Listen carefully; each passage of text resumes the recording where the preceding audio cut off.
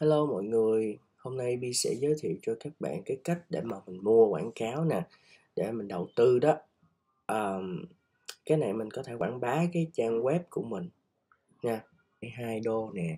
Thì bây giờ á, tại vì mỗi tháng nó sẽ có ưu đãi um, tặng thêm um, 2.000 bát nếu như mà mình mua mua ad. Ở đây Bi sẽ mua một cái ad, à, coi như bỏ ra một đô để mà mình có được hai um, 2,4 đô nha 2,4 đô. Uh, đấy bây giờ mình sẽ mua thôi. Uh, bấm vô buy ad nè bấm vô box ad nè ha. Đó ở đây thì mình sẽ mua cái này nó giới thiệu thôi. Các bạn có thể bấm vô video này để coi cách mua. Đây vì cũng đã quen rồi mình bấm next luôn nè ha. Rồi ở đây thì mình sẽ chọn cái trang web mà mình muốn quảng cáo. Cái trang web mà mình muốn người ta truy cập nhiều quá mình bấm vô đây. Rồi mình bấm verify.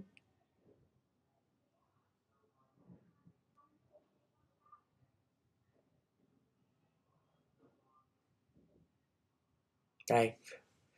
Ở đây Bi sẽ giới thiệu cho các bạn một cái ứng dụng thứ ba nữa để mà các bạn uh, sử dụng chi tiêu mua sắm ở trên Shopee, Tiki, Lazada các sàn thương mại điện tử và được hoàn tiền lại tới tới 30% và đặc biệt là khi các bạn uh, tham gia với cái link giới thiệu của Bi các bạn sẽ được 20 ngàn. Đó thấy không?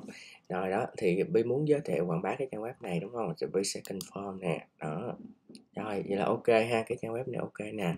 Tiếp theo mình sẽ bấm next. Cái này uh, mình không có banner không có gì cho mình bấm opt out.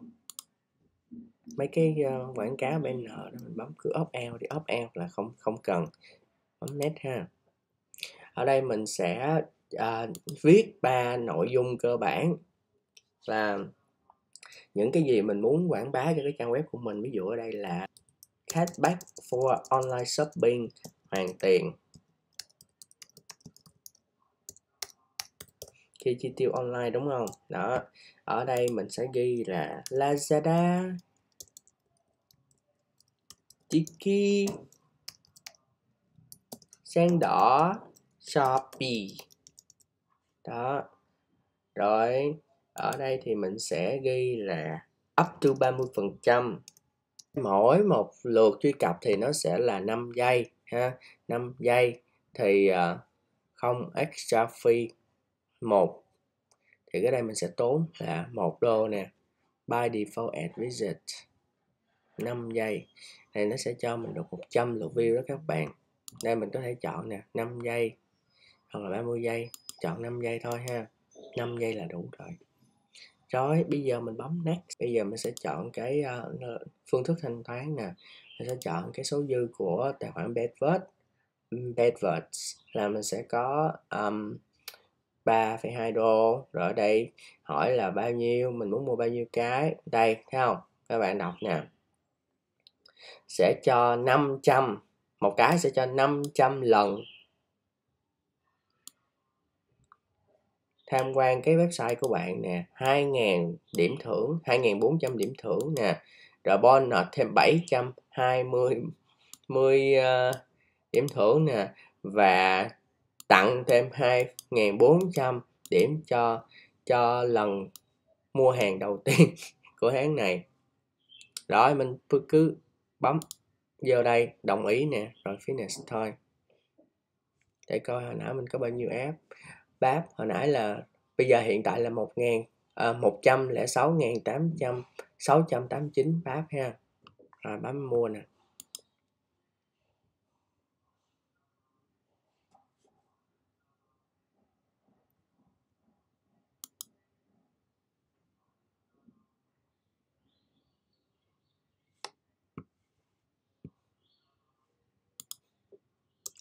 Nó không cho special character.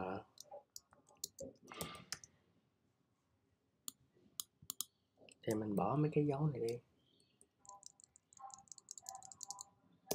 Tiki sang đỏ. Shopee.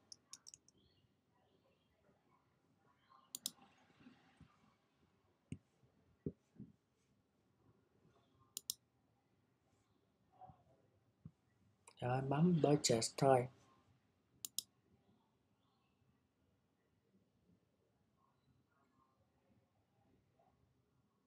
Nha tiền đã trừ nè.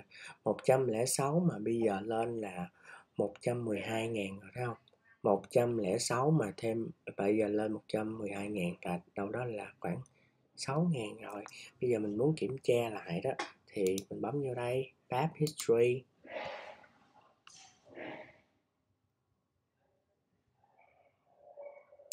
À các bạn thấy không? 2400 là mình mua nè, còn cái này là bonus, ha, là tặng đó. Đó, thì vậy mình đã có điểm thôi từ cái điểm này mình sẽ quy lại thành tiền, đây bi sẽ tính cho các bạn ha. Cái này mình chia cho 2.000 đi. Rồi, cái này chia cho 2.000 đó bỏ ra một đô mà được 2,76 đô ngon chưa? Mỗi tháng mình chỉ cần mua một lần thôi và mua một đô thôi các bạn không cần mua nhiều. Tại vì sao? Mua ít mua nhiều gì nó cũng tặng có 2.400 bát uh, trong cái lần đầu tiên của tháng thôi. Đó cho nên mình chỉ cần mua vậy là được. À, thấy không? Và khi sau khi mà mình mua mua đô mình mình mua quảng cáo xong á thì sao? Thì nó sẽ um, miễn phí cho mình được 14 ngày không trừ thuế. Tại vì bình thường á, mỗi một ngày á, mình bị trừ thuế 100 bát bây giờ mình mua một đô là mình sẽ được 14 ngày miễn miễn miễn thuế. Cho nên là nếu như mà không muốn bị trừ thuế luôn đó thì à, tháng mình mua hai lần mỗi mỗi lần một đô là được nha. Rồi ok um, video chia sẻ ngắn đến đây là hết rồi. Chúc các bạn thành công với petford nha. Chào hẹn gặp lại. Bye bye.